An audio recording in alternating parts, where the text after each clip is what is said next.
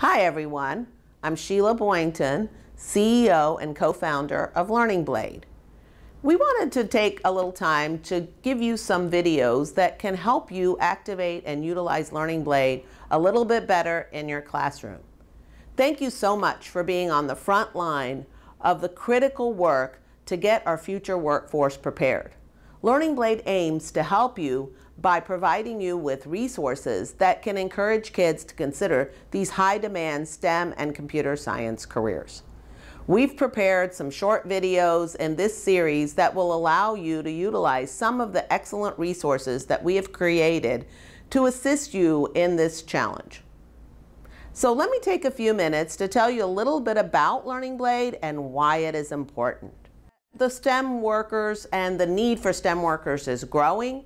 The demand for these jobs is at a critical high in our country, and you have an important role in helping to fill that pipeline for students and making sure that they are prepared for the workforce.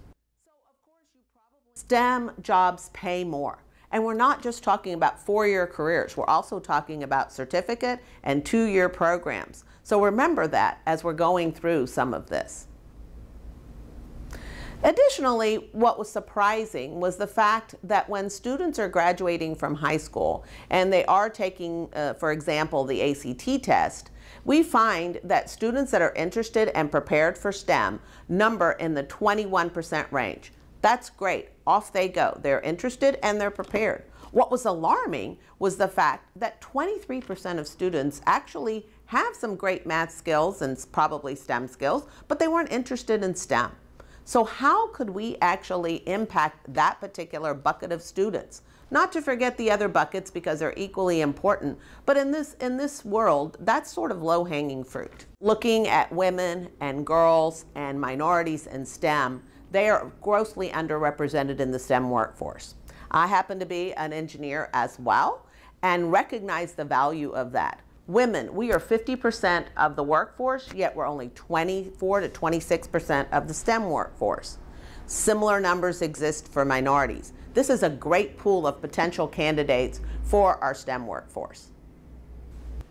So in trying to find out what were some of the issues of not getting students into the STEM workforce, what bubbled to the top as the number one reason through many research uh, papers and other resources was that the main reason kids did not major in STEM or computer science, pretty simple. They didn't know about the careers.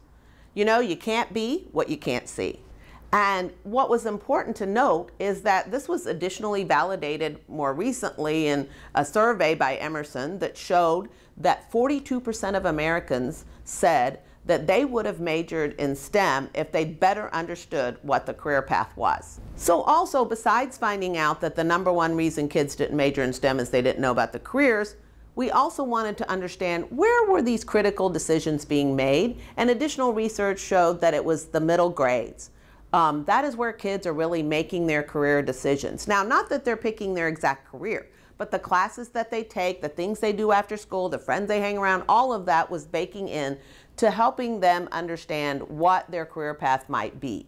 And so that is that critical time, middle school. So let me tell you a little bit about the Learning Blade STEM Toolbox. What we have tried to do with Learning Blade is create resources that make it very easy for any teacher to be able to utilize these tools and deliver a STEM great experience in their classroom.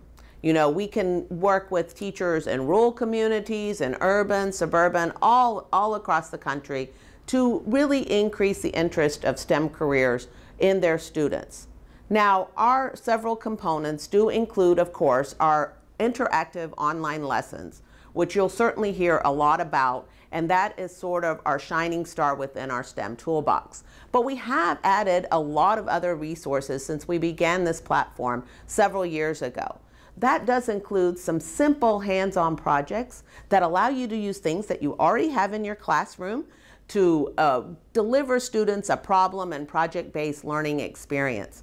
We have also added um, design thinking lessons using the five step process, again, to make this very simple for any teacher to allow their students to collaborate together, work in teams, to learn the design thinking process as that is a critical component no matter what career a student chooses. Additionally, we have 3D printing lessons. Many of you are getting 3D printers in your classroom. You don't know what to do with them a lot of times. So giving you some simple ways to integrate 3D printing into your classroom, as well as some other resources, including career videos and some little paper craft exercises. And then, of course, we do have some newer coding activities that allow you to utilize some of code.org's fabulous materials, but making it simple for you to actually utilize these in your classroom. So let me just say thank you. Thank you for what you are doing in the classroom, what you do every single day. But thank you for utilizing Learning Blade to help you to give your students a STEM career awareness experience that will help move them closer to being able to have a great career and a great future. We hope you enjoy these Learning Blade series of videos, and we are here to support you in any way we can.